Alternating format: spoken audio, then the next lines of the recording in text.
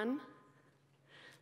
We have here on the stage today five true leaders who are creating new nations. I'm very honored to be able to have this conversation with you today about building a new nation in a globalized world. Also, because I have a personal connection to this particular topic. Uh, my name is Wendy Dent. I'm an investigative journalist. You might have read some of my scoops on Trump Russia published by Guardian US. But what a lot of people don't know about me is I was actually born at a time of the emergence of a new nation. I myself am a child of an independence movement. I was born in Papua New Guinea, which neighbors West Papua, at a time when they had just achieved self governance. A few months after my birth, they achieved independence.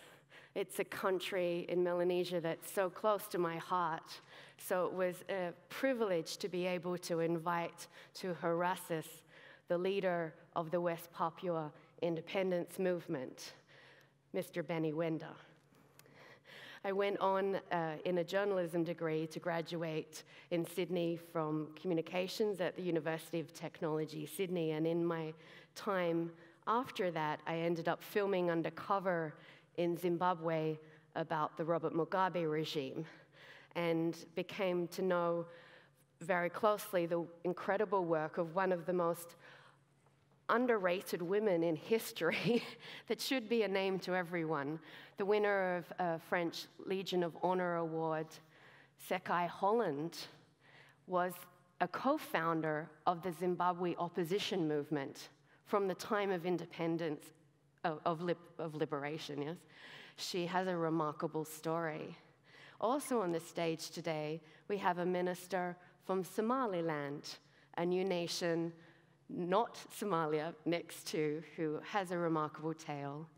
And then we have here Vit Jedlicka, who is the president of Liberland, a new nation bordering Croatia and Serbia. And we also are joined here by Stan Stalnaker, who is the founding director of Hub Culture in United Kingdom, which is serving new nations by assisting to create their identities digitally. And he has a, a wonderful point of view on these matters. It also, though, highlights that we have here a very intriguing sort of Maslow's hierarchy of needs, that at the heart, everyone here is seeking liberty. We are all here today to talk about liberty, but we have here Benny Wenda, and Sekai Holland are in their nations dealing with the most difficult issues of survival, of creating a nation that can have food and security. And then at the, and also to some degree, Vit will speak about the, the challenges his country is facing.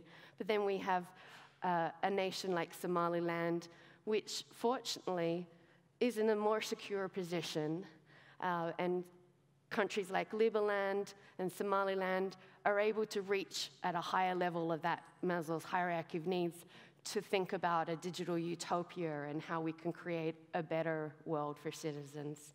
But let me have them tell their stories, remarkable stories. Uh, firstly, I will go to Mr. Benny Wenda from West Papua. Wow. I want to welcome you with my language called Wa, Wa, Wa, Wa. This is a greeting from the people of West Papua. Um, I'm, I'm, thank you to the uh, co-organizer of the uh, uh, Horasis. this is the right place to be here uh, because the theme of the, the meeting is uh, the global vision of community, how that become a reality is community. That's what we will hear. And West Papua is a western half of the New Guinea. And also, you may know that uh, this is the right place to be here. Maybe this is the first time I come this country to conquer this, uh, island, uh, this country because Portuguese and uh, Spanish conquer an island of the New Guinea. So New Guinea is uh, western half of New Guinea, north of Australia. Uh, you know, they conquer uh, Guinea-Bissau, and they found these new people, like black people in the, in the Pacific, and they call them New Guinea. So that's become an, a New Guinea, New Guinea Island. So eastern half is called Papua New Guinea. They already got independent, now called Papua New Guinea.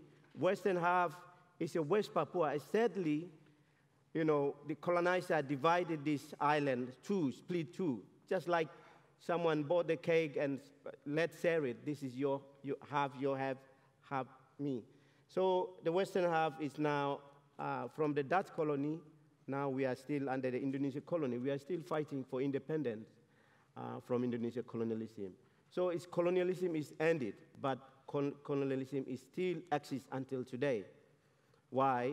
Indonesia uh, uh, shut the journalists from international uh, journalists. For example, Amnesty International, Red Cross, NGO, ABC or BBC, totally banned.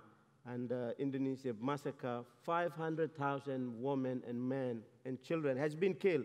While I'm speaking, they're still, uh, in, you know, still fighting. So this is the right place to become a global community to share what our own experience. Like this panel, we have a different struggle, different fight, but the end, we want to save the, the global community, become a safer place. That's why my fight is your fight, your fight is my fight. Some of you trying to invest your investment, the you know, globally, but we also, I myself, trying to find the uh, people who are you know, invested to, to, to my country, but same time, my country uh, also, uh, we are still fighting colonialism. So this is a very tricky situation where I'm coming from. We are not fighting for uh, uh, economic justice, but we are fighting for colonialism. We have a resource, resources. Whatever you go to Africa or Caribbean or Pacific, we have rich. West Papua is a more rich in this planet, this planet. And West Papua also the second biggest island in this planet after Greenland. Also the world uh, second uh, large uh, forest. But all these multinational companies come working together with the Indonesian government, destroy our way of life, our survival, destroy our environment, that is what we are fighting. Our fight is not something, but we are fighting for the, our political independence. 500,000 women and men is being killed by Indonesia. Enough is enough. And I need you to become a voice of the people of West Papua. Every individual can change this world to a better place. Thank you.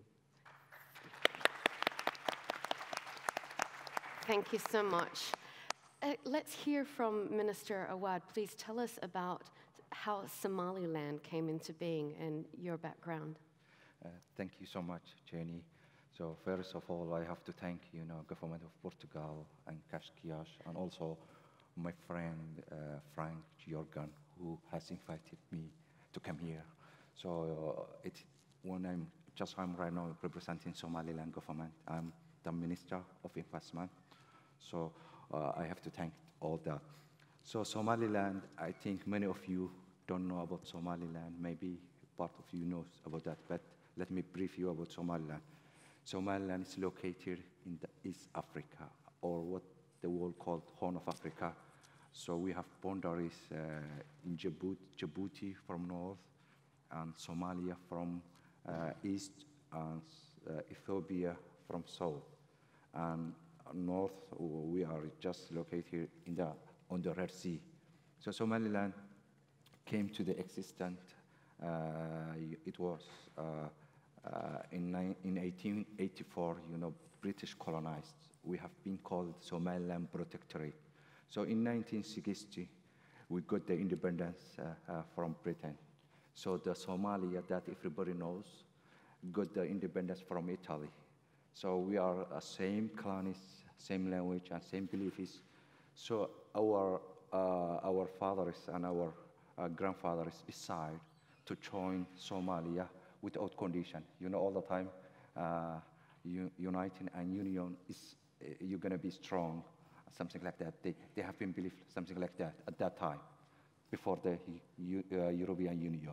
We, our grandfathers decided to join Somalia to make great Somalia, but without condition. They have taken everything uh, like a president, prime minister, uh, speaker of parliament, all the ministers, and we have been happy because you know at the end, you have to develop your people. You have to utilize uh, your resource. You have to exploit your natural resource.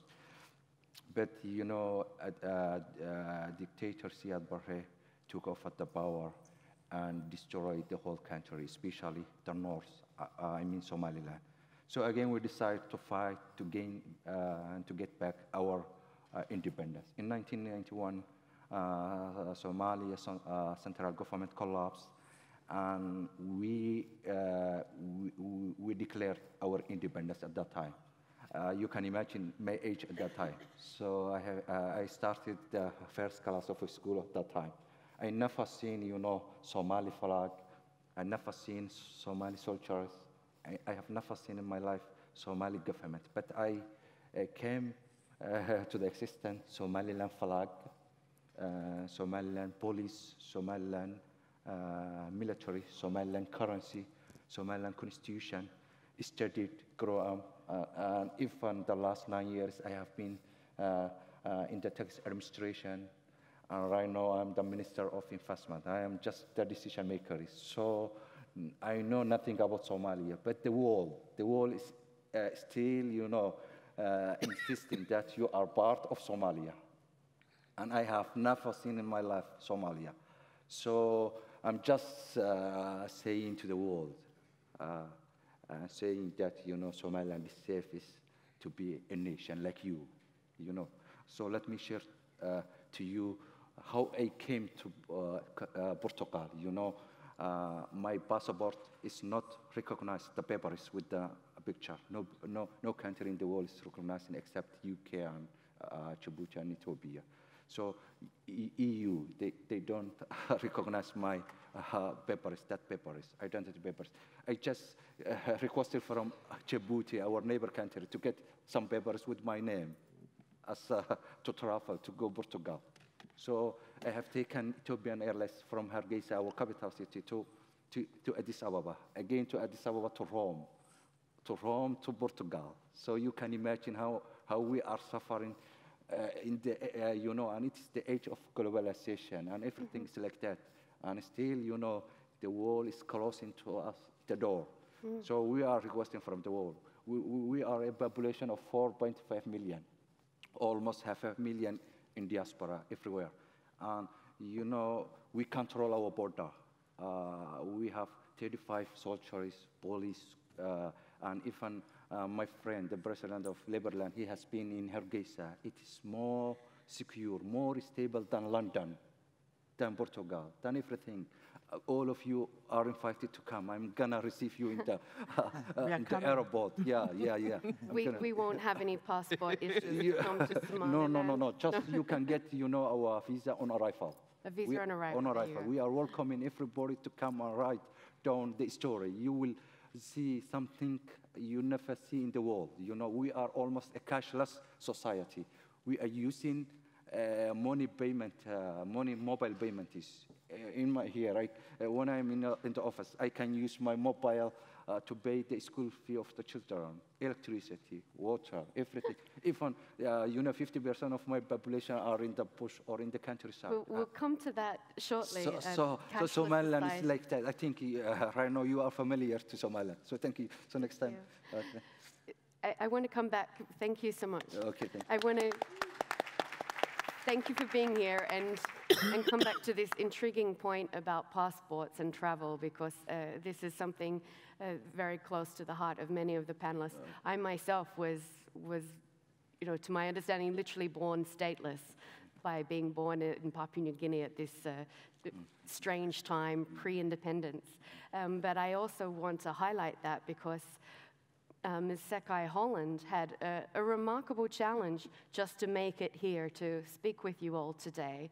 So uh, perhaps Sekai, would you like to uh, tell us a little bit about that and introduce yourself? My, my, uh, uh, another Alma from the University of Technology, Sydney. this is, uh, as I said, the co-founder of Zimbabwe's independence movement.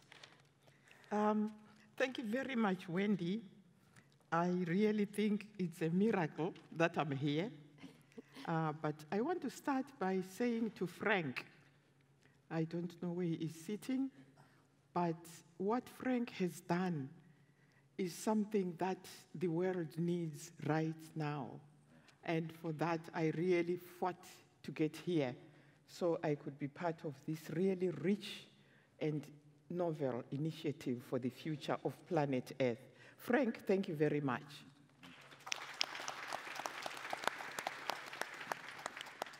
I wanted to say also that when I saw the name Wendy Dent, um, my heart really lit up because for me, Australia has been the country where I have found my rising up again when the chips were down. And this is another rising. So, Wendy, thank you very much. You're welcome. Thank you. Um, I wanted to start this on nation building about that uh, our topic was supposed to be on nation building. And I thought about that in the context of what Frank is talking about in a globalized world, that was now an archaic term, uh, the state. Um, Zimbabwe is also a cashless society. We don't have cash. We use um, EcoCash. And I tried to send my husband the money I took out. It doesn't work from here. It only works when you're at home.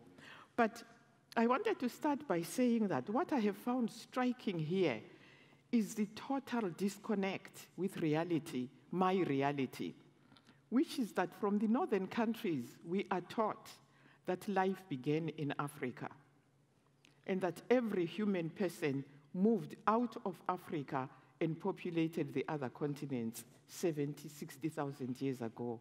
There is no mention of this in any of the discourse taking place in terms of that, the era that we are in today requires that all humans find common ground. And the most common ground is our beginnings in Africa. So I hope that people think about that and think about it seriously, because if they do, they will have a different understanding of how we tackle the problems of the future and use this pla platform, which um, Frank seems to have fought so hard to make a reality useful. The next thing that we have together is language. I don't know a language, and I have traveled in all the continents where language is not a peace building tool. Good morning, good afternoon, good evening, good night. You can translate that into any language, and you will find that people, at their most basic, wish one another the best. We don't seem to use that tool at all. And I find with my great grandchildren, they've started to lose language because they are busy with their androids and uh, TV, and they barely ever talk to me. And when they do talk, I don't understand what they're saying. So I have lessons with them on speech as the highest achievement of humans. Um, the next thing that I thought we could tackle in this session on nation building is that the world we have today has been built on the roles that humans have found themselves having the production, reproduction of humans, and that the men were the ones who had to go out there and protect not just themselves, but their families and their countries and their borders. And I was really excited, Frank, to meet Jasper talking about another form of how armies can be used. And I hope we build forward with that because army is also an, an obsolete expression of nation building. I just wanted to end here by saying that for me in Africa, the most hopeful sign is our youths and I've met them here from Africa. They are so beautiful, boys and girls. They're part of the world going forward. And I was in a session which played out how I used to be when I was young, 50 years ago, uh, few, more than 50, 60 years ago. This young man just kept bouncing off, and I was really scared for him because he lives in America. And knowing American society as it is today, and it needs a lot of healing like Zimbabwe does, um, I just feared that when he goes back, he will just get himself shot and killed for being so mouthy. Because the ideas he was expressing were actually factual. But the way you express your ideas, I have learned over the past 76 years that you have to use peace building language, peaceful language, so that you get to the other person and you connect that humanity and you move forward. Concluding on Zimbabwe today Zimbabwe is the bad boy of the planet. And it's really something that the young man was trying to talk about. And I was so shocked that a young boy from Nigeria living in the United States could capture what's going on so beautifully. In the 90s, Somalia was a real problem. I may use the wrong term because of the division that is there now. But Zimbabwe, on the continent, has one of the most brilliant armies. It's a liberation army which then got trained in Sandhurst and has the tools of both the guerrilla and the modern army. They were called to Somalia under um, UN peacekeeping UNISOM. I call it UNISOM. Yeah, yeah. There was UNISOM 1, UNISOM 2. And the Somali uh, people had wiped out the Pakistani uh, peacekeepers for raping their women and they had also downed a Seahawk of the uh, Americans. Guess who saved them? General Chiwenga from Zimbabwe, who is today's first vice president. But what do you hear about him today? Oh, he's killed a soldier there, here he's done this, he's done.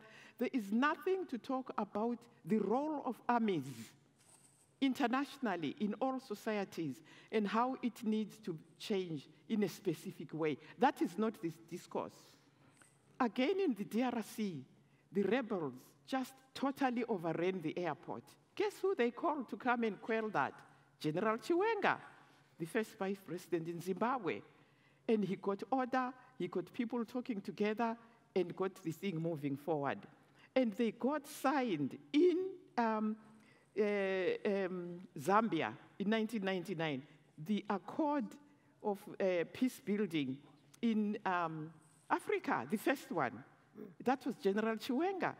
Uh, General Philip Sibanda in Angola brought UNITA and the uh, parties there. So the way in which the army in Zimbabwe is regarded today is not in accordance with the history of what they have done to be where they are today in removing Mugabe, who really became we, a we, big problem for everybody. I think we have a, a, a, comment or a question. Did you want to just? No? Oh, sorry, Vit was So I just want to conclude by saying on Zimbabwe, my appeal here is for us to use our hearts, our minds, our peace building tools to talk to every nation. And I'm really refreshed because this seems like a nation of the future and uh, Western uh, Papua seem to be nations of the future and yours, and that we should listen carefully. That's really my introduction. Thank you. Thank you.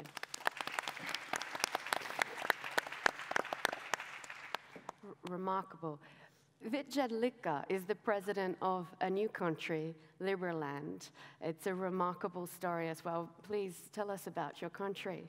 Well, Liberland is not a big country, but I think it, it embraces a big idea of freedom, and, mm-hmm. and we want to take the, the idea to the limit. We want to give our citizens as much as possible the freedom that they deserve, and we know very well that it works. We know that places like Singapore, Hong Kong, places like Monaco have become the centers of prosperity on this planet. They are now full of people, they cannot fit there. It's very hard to get the citizenship in these places. And when I was dealing with the simple problem that in Europe we have overregulation and overtaxation, and many people are feeling basically oppressed by the overreaching state. uh, we came up with an idea that we have to start a new country. And so on 13th of April 2015, uh, we launched an initiative. We, we, launched a new country on a, on a no man's land between Croatia and Serbia. It was a place which was unclaimed for more than 28 years. It was a place which I think was perfect, heart-shaped uh, territory, seven square kilometers exactly. And, and since then, uh, we have grown from basically three citizens that started it uh, to diaspora of half million people globally that believe in our effort, that, that feel like Liberlanders, that are systematically, one by one, getting engaged in the nation building. And we are trying to combine the best elements that are out there for the governance, and that I think Stan will be talking about what, what is possible these days. We have our own initiative to make everything transparent, everything on blockchain. Uh, we also launched our, our cryptocurrency. We were the first country on the planet to embrace cryptocurrency as our kind of national standard for transaction. Uh, and uh, you know, we are, we are also really interested in, in combining these, all these blockchain technologies with these very good principles that were embedded, for example, in the American Constitution. So 13th of April was the birthday of Thomas Jefferson. It was a time where, where we wanted to invoke kind of a tea party of the modern era, where we know that enormous amount of energy, social energy, can be unleashed if the state doesn't take too much of the economy, if it doesn't interfere too much with people's freedom.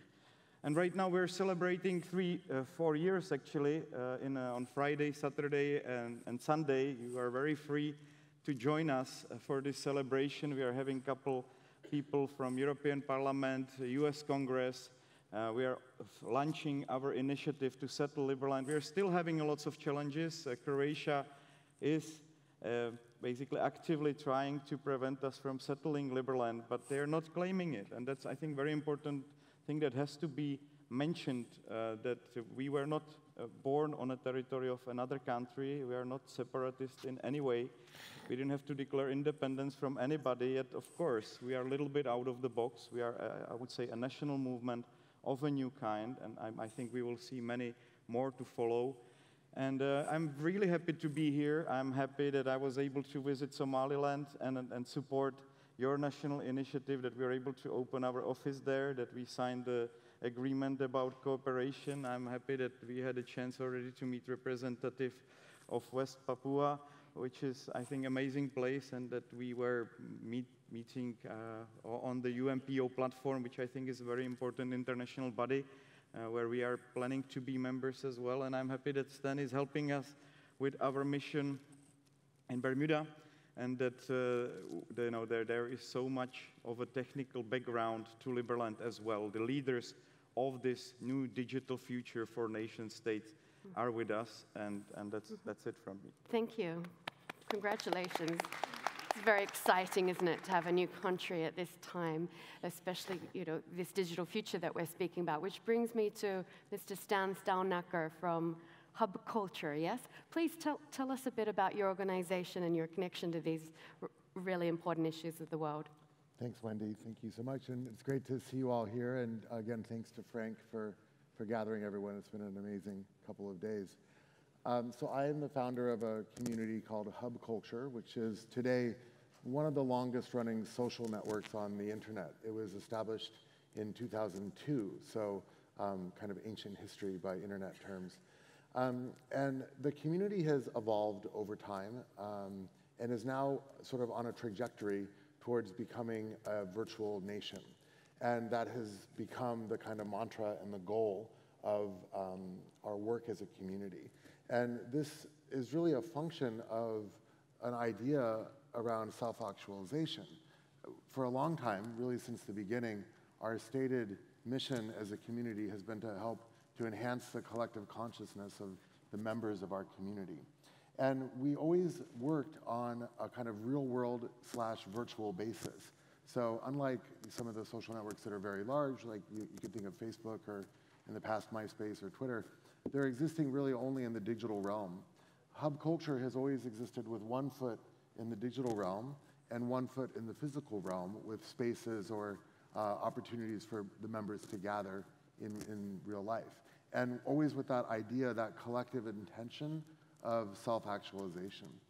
And so, as the community grew over um, the kind of first part of the last decade, we started to run into problems with gathering these people in the places, the hubs um, where they were members. And things like payments became an issue. We started to think about um, identity. So in 2007, we launched one of the first digital currencies called VEN, um, really two years even before Bitcoin existed. And it was a currency that could be traded within the, the community. And at, at that point, we started to really think about the um, economics of the community and how you start to build tools for value creation within a community. And that really got us thinking about um, really what is a country?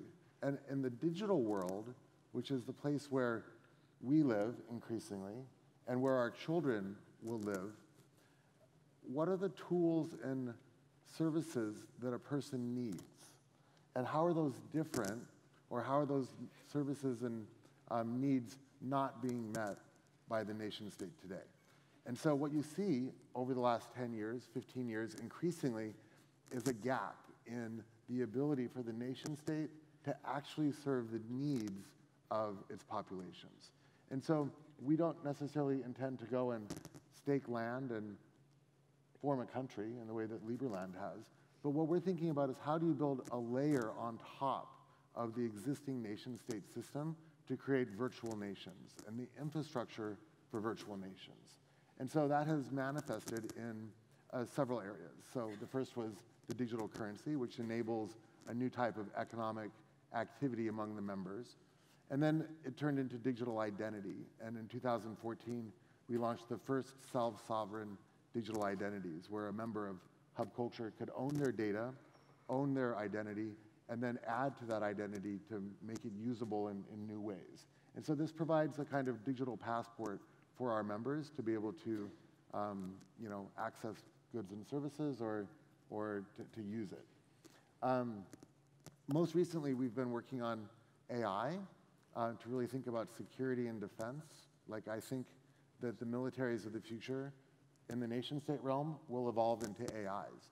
And so we realized that in the virtual realm, a protective sentry AI was going to become very important. So we've started building an AI in 2017. It's a kind of general protectorate AI for the community. And then um, Exchange, we launched in 2018, which is focused on tokenizing assets and making them exchangeable. So essentially creating data vaults and vaults for assets that can be stored um, in this virtual realm. And that we think is going to be very important because as we move into a virtual world, you're going to have many different digital assets that may represent tokenized real assets like your property or your will or stocks and shares, but also new types of fully digital uh, stores of wealth. Bitcoin and cryptocurrencies are just one example. And so a safe place to be able to store and, and vault those, those assets. And then finally, just a couple of months ago, we announced Propel, which is the final piece of the puzzle for us, and it's a governance platform. So instead of looking at a right or left governance model, we're looking at a forward-looking governance model, and it allows the members of our community to create uh, policies, planks, and points, and mesh those together into governance frameworks, and then to be able to vote on those governance frameworks and to export that data to any jurisdiction or any type of hub that a person in our community can create. So we're looking at uh, decentralized, granulated governance is the final component of this uh, beginning of a virtual nation. Thank you very much. Well done. It's very interesting to me. Um, Stan Stalnaker was talking about the digital realm, and we have obviously social media, even in Zimbabwe, is, is really impacting the, the new nations. But at the same time, we're living in this world which seems to be dominated by talk of here, even Brexit, the Trump Russia scandal, etc. How do you find you know, airtime, in a sense, in this world environment to sort of push your, your cause for a new country? Is it creating a new moment in time where it's helping you to emerge with new, new nations and a new identity? Or is it that these bigger world issues are sort of sucking all the air out of the room and leaving nothing for new nations. Is, is this an issue for you? Please I think, chip in. you know, of course, liberal Liberland at the age of internet is something which is much easier to create uh, than before. I mean, we had, in just first week alone, we had 250,000 people that applied for citizenship. I think that was never ever possible, that would be never ever possible without, without internet. And we are still one of the fastest growing nation on the planet with around 500 to 1,000 people applying every day these days. So it is, of course, very important for us. I think also what is important and will be more important in this age of centralized social media uh, the move to decentralized social media, where we will not, we will not be, have to be challenge, um, challenging the, the fact that all these centralized social media are actually going to prevent, for example, the growth of, of similar movements like ours. They're not going to influence the debate. And I think that will be a, a big next fight that, that you know, we are going to actually Right. emerge into, and, and it will be on different levels. Um, so yes, internet has done it, make it possible now for everybody on, on the planet to connect and, and stand behind the ideas that they want. What about you, Um, uh, Benny Wenda? We have West Papua is one of the regions of the world that is has obviously been the most traditional, the most tribal, I would presume the most unconnected. Yet Benny Wenda came to my attention through Twitter, and he's had a, a remarkable referendum, which was one of the most signed documents um, in history, I'm told. How do you, how do you manage the, the social media realm and the, the tribal world of, of West Papua? Yeah, thank you. This is uh, in world history, first time West Papua signed a petition one year undercover. Uh, 1,800,000 signed by the, my people and smuggled. It's very long story actually. From West Papua, cross the border to Papua New Guinea mountain route, then to, took them to, to me, deliver in London, and then I, I presented to um, People were literally handing a referendum It's around 40 villages. kilo. the whole 40 kilo, heavy weight 40 kilo, this big, and uh, I handing over to the Human Rights High Commissioner in Geneva, first time in the history and world struggle as we did.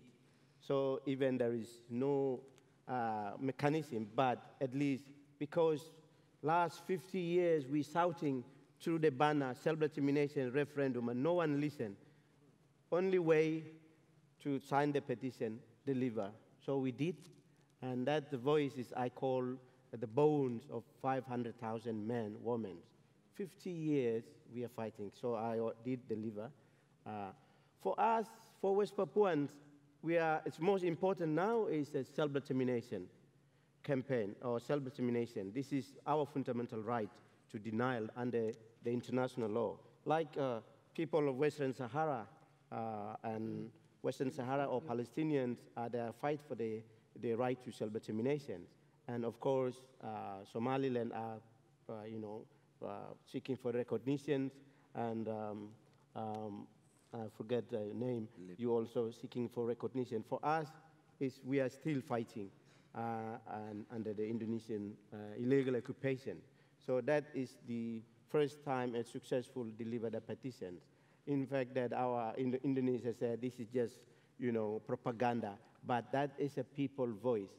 And I, I am a, a chair of the United Liberation Movement. My obligation to deliver that message to the United Nations because the UN is there for, the, for, for, for receive all those concerns, all those recognition. So that's why this petition is very important for me to deliver. I, I wonder, did anyone in the room ever hear about the United Nations, you know, receiving a petition from West Papua? There was one, thank you. There was some intriguing news that it was denied uh, by the UN General. Can you just explain, in just one minute or so, what happened there? Sorry. I, I, I- read that the UN actually denied the existence of this pe- petition, remarkably. Yes, yes. I think the one, one uh, yeah, 2017, we also deliver uh, the petition in the uh, in the decolonization committee, chair of the decolonization committee. That independently we deliver, uh, and then the chair of the decolonization committee deny because the, this is independently. But in Geneva, uh, sponsored by Vanuatu government, uh, sponsored. So we diplomatically uh, organize and then we deliver. So of course our Indonesia always you know using propaganda language, but it is this is fight is lies and truth. So whatever happens, we deliver the, the, the petition to the United Nations, up to the United Nations too. Um, I think Sekai Holland wants to add to that. I wanted to I, um, follow a question I asked you, you didn't have time to answer.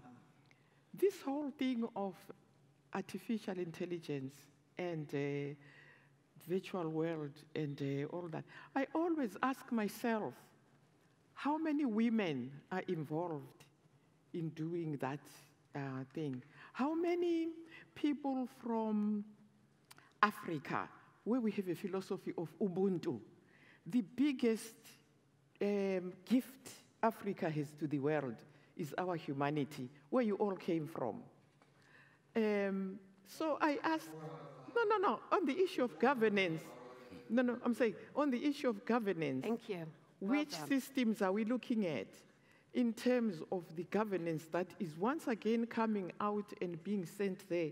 I'm just saying, I just want to register this worry for us because um, it, these are things that we receive, but we are not consulted and become part of. Vit, how many women do you have in your cabinet? What's the ratio? Right now, we've got a new Minister of Justice. No, I'm talking Sorry, about. Okay, sorry. I think. if-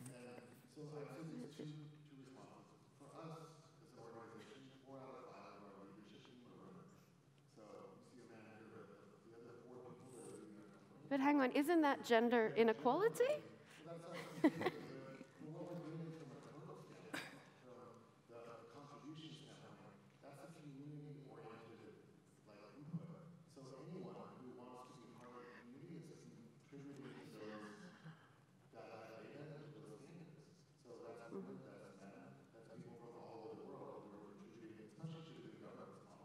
first Australians, the uh, Am- Native Americans, all those are in, consulted.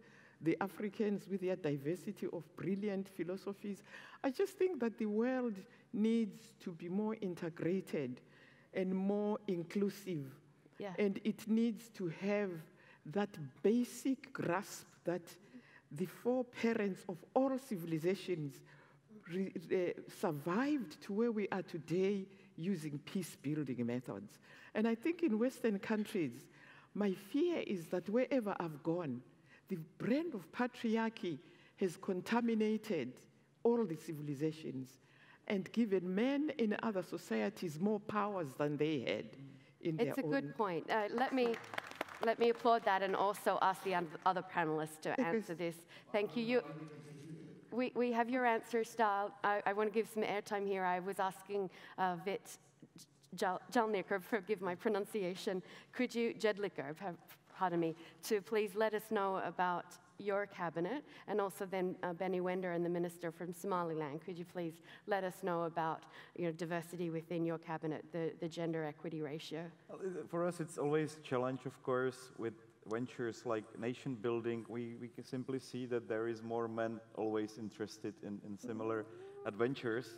Uh, I mean, I, I don't know about your liberation movement, but probably the active members, I, I cannot help it. It's, it's the simple fact. It's one, one women, five men. Uh, but right now the cabinet is the same, but I, I'm happy that the most important position which we are now actually having is occupied by a w- woman, but not because she is woman, but she because she's got the best skill set to occupy that position. And I think that that's very important when women are not put in a places just because they are women, but because they are the true leaders Right. and they've got the capacity. But one of how many, I'm sorry, in the cabinet?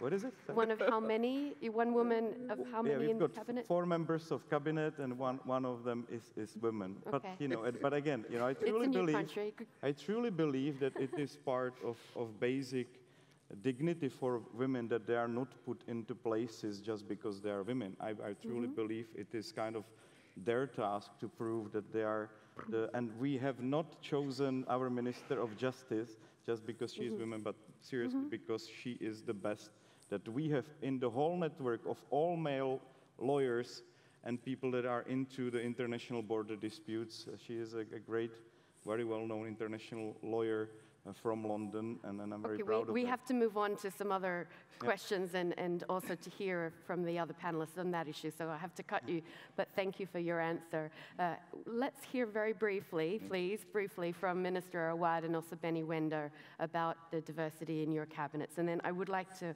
invite questions also and comments. Thank So in my country, you know, uh, the female, they have been, you know, the foreign minister, they have been the minister of finance, you know. We don't have any sensitivity when it's coming to the female. Although, you know, oh, we are a nation, uh, you know, have a, uh, uh, what I can say, norms of, you know, uh, male dominating everything. Because, you know, uh, every successful man behind a woman.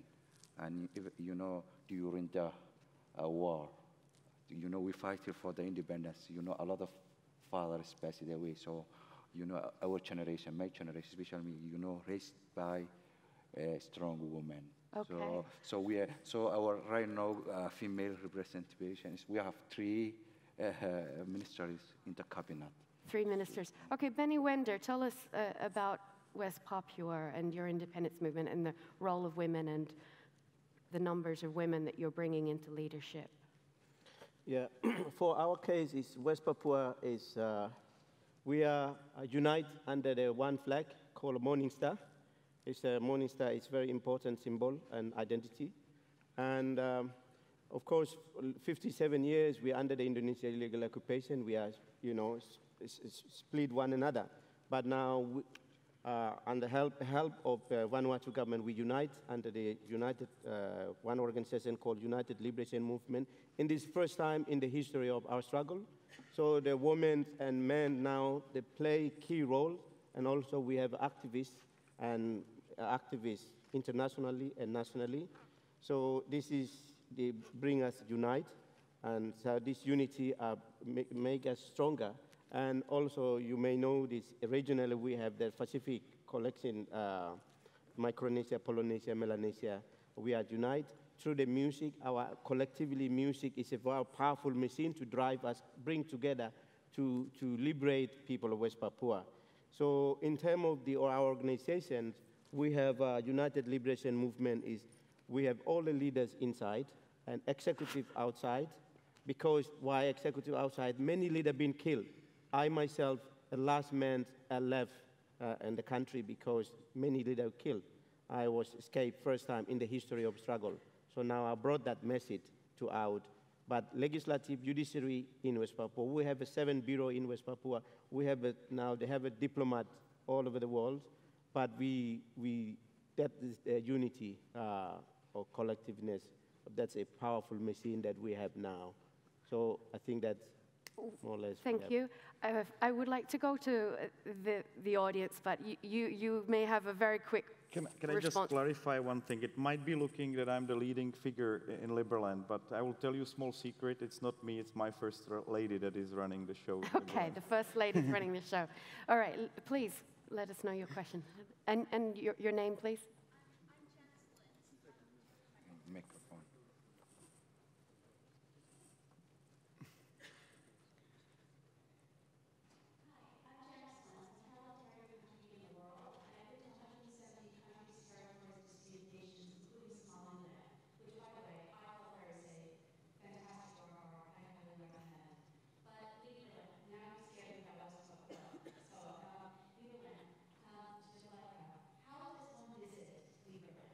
Well, it's fairly easy. You fly to Belgrade, Osijek, or Budapest, and then it's, then it's like two-hour ride.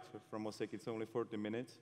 Uh, you can, you're very welcome to again join us for the anniversary, which is taking place in um, the, the conference itself is in Sombor, but on the whole Saturday we're actually going to be in Liberland, and we're building a small city on water next to our territory in our territorial waters right now because of the security issues. Again, Liberland is a physical piece of land. It is located between Croatia and Serbia. It's only 10 kilometers away from Hungarian borders. It's not hard to reach it. It just takes a couple hours of, of ride.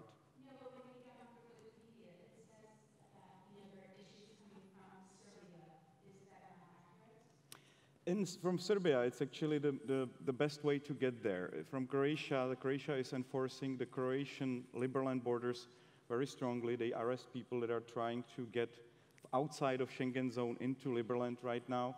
From Serbia, we've got borders on the Danube River, which is international waterway, uh, waterway and that makes it much easier to, to come and access. But we still do have issues with Croatia, which I hope to solve. We are very honored Wendy, we have a leader of Croatian Wendy, opposition coming, coming to our uh, anniversary, and I hope we will solve these issues with Croatia. Serbia stated they don't mind creation of Liberland on this territory, despite them being the former owners and, and uh, the sovereign entity running this piece of land. I'm sorry, I think um, Sekai Holland would like to... No, no, I've got to go. And I just want to leave one little message to the meeting to say to Frank, thank you very much for the forum you've established, but we need to really rethink how we use this space as a global forum where we bring our ideas together. I just wanted to say Africa's future is, for me, guaranteed because of the founding fathers, the Nkrumahs, the Jomo Kenyattas, uh, who really set up the whole thing of the OAU, say Abubakar Tafawa Balewa, all those. And that there was a first phase, a second phase, and the third phase so well articulated by the Namibian ambassador. So if you want to hear what's happening in Africa, listen to what the different regions are saying Thank you, Sekai. We, we were going, going to thank you yes. for being here. We have to stick to yeah. our uh, so, panelists and comments. But yeah, I but understand Sekai Holland has a taxi waiting at uh, 12 o'clock yes. uh, to, to have to, to run. But yes. thank you very but, much for having us. Uh, but Wendy, I'm here. saying to you that I don't think that people here have quite understood how disconnected humanity is from the source which is where we have been able to build planet Earth. Mm-hmm. We still have the capacity to build forward by connecting. Thank you. Well, I want to connect with the audience right now. So thank you very much for your contribution. I know we have uh, some people who have questions.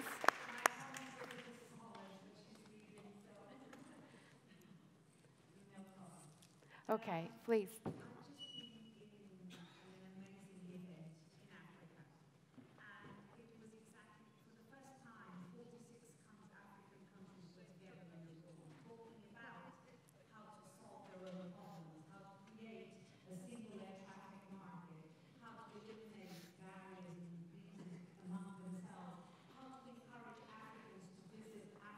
Do we have any more questions?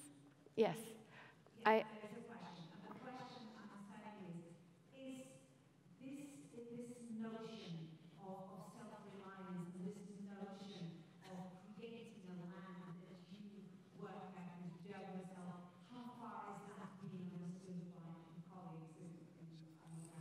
So let me, let me answer.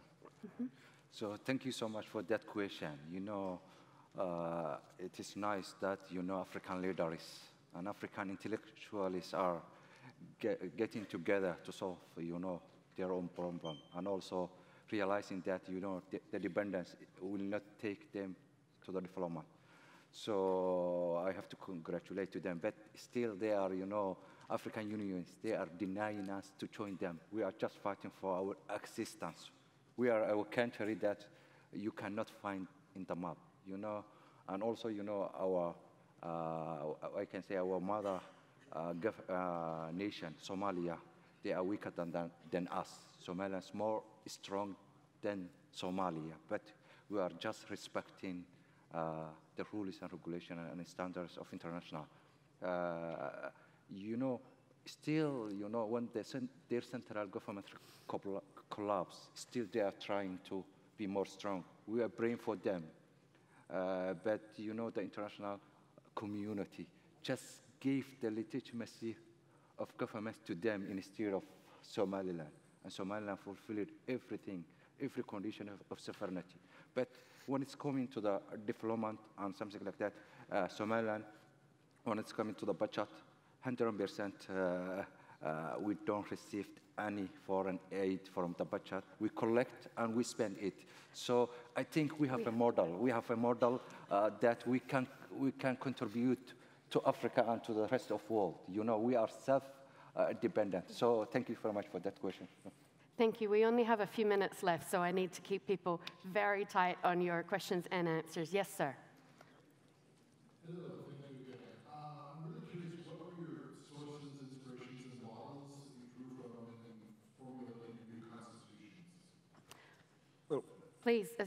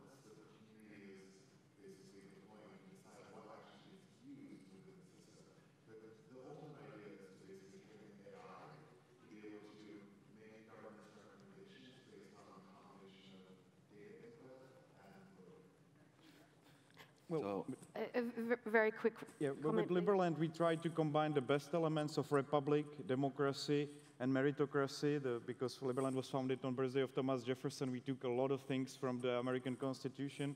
We got inspired by the Swiss, for example, public veto model. And we, we changed the relation between the state and citizen to a degree that it's completely voluntary. In Liberland, we don't have any obligatory tax system. And then whenever you're paying taxes, you're actually getting merits, which is your reputation and your vote in Liberland, which I think is a fundamental improvement to existing systems. Excellent, yes. So our, our constitution is, you know, based on uh, Sharia law, so it is revelation from the God. So, uh, and also our constitution is based on the clans and the power distribution, and, and everybody is happy about how we are uh, created and established and organized our constitution. So, you know, we managed, and we never uh, met any challenges from the last 27 years. Thank you so much. Uh, it's been fantastic to have these leaders here and to have your contribution. I'm sure you have more questions, so please come and find uh, these gentlemen outside at the end now. I can see more hands coming up. I'd like to thank Dr. Frank Jürgen Richter for having this uh, exceptional topic and people here to join us. And thank you to Cascais and Portugal. It is uh, an honor for us to be here, and it's a, a fine country that's inspiring us all. So thank you all for joining us today.